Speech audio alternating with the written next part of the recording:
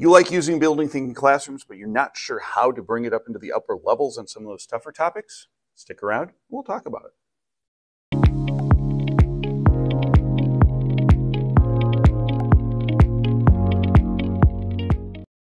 Hi, welcome to Hayes' World of Math. And one of the things that I always get asked sometimes is how do you take tougher topics, particularly if those are things that you as a teacher have only been lectured at?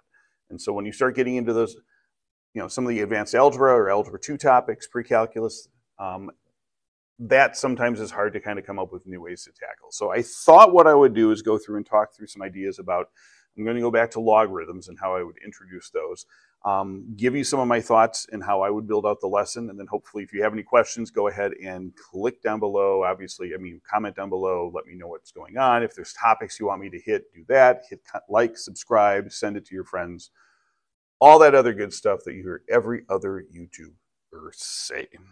Okay? So if we build out like this, one of the things I'm going to go through and do is I'm going to say, all right, I'm going to do a warm up, and you could actually probably do this at the boards. It kind of depends on your own personal preference style. I would just do typically the lesson before this is just writing things in terms of like bases. So, you know, have the kids either in groups or by themselves solve questions like this. Again, it's just going to kind of, again, link them two together.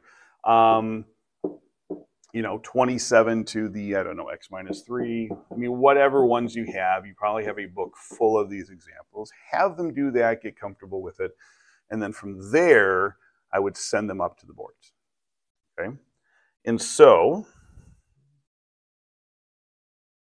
when I got to the boards, the first slide that I would show them is this one just the definition of logarithm. I don't know if I would necessarily tell them what log was. I would just say, we're going to, here's a new log, or here's a new operation, and the only definition I'm going to give you is the fact that I can rewrite that as an exponential equation. I would have them write it down at the boards. I'm going to keep this on each of my slides that I go in the future on this.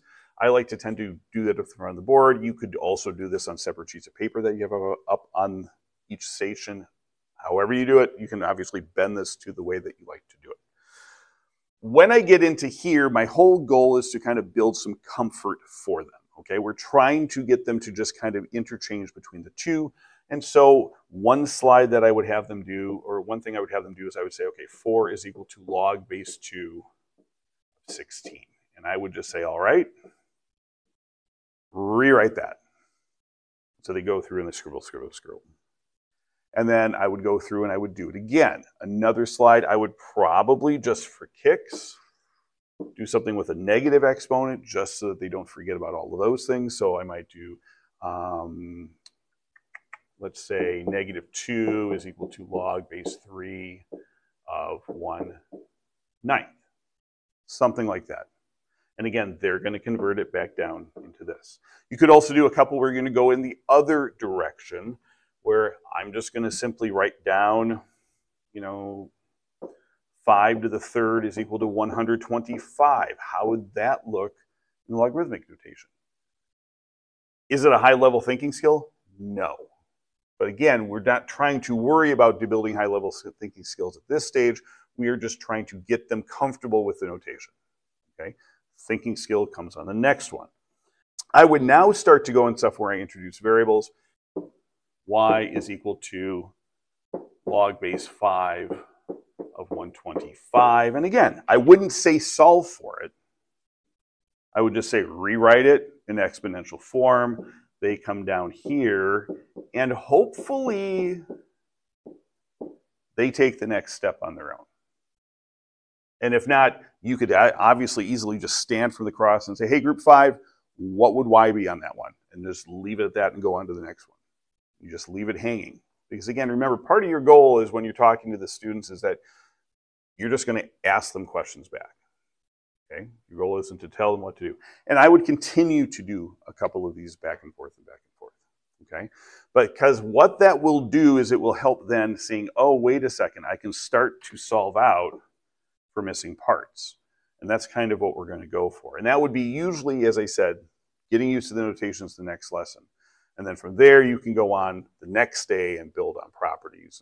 So that would be my first couple of lessons. Now, depending upon your class, you may want to extend it a little bit.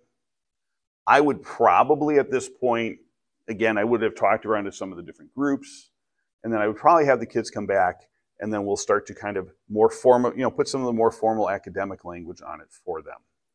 Okay. If you have any questions about stuff, throw it down in the comments. If there's topics you want me to see me go through, throw them down below. Hit like, subscribe, comment, or I already said comment, do that. Um, a couple of things. This over here is a video that hopefully of mine that you will like and find useful. Up over here, you can go ahead and hit subscribe. And other than that, I will see you next time. Talk to you soon.